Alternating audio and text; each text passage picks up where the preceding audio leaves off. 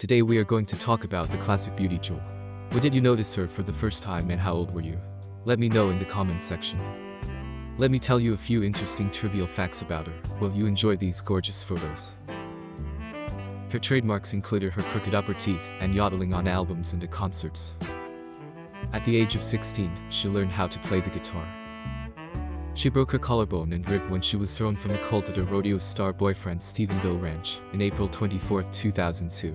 He's a seven-time world all-around champion in rodeo. Although she is one of the many artists and songwriters asked to join Music United for a strong internet copyright, she is still unsure whether the campaign will stop illegal downloads.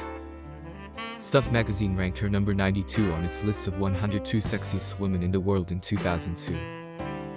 On VH1's 100 Sexiest Artists list, she ranked number 45. Jewel once said, Find pleasure in common things.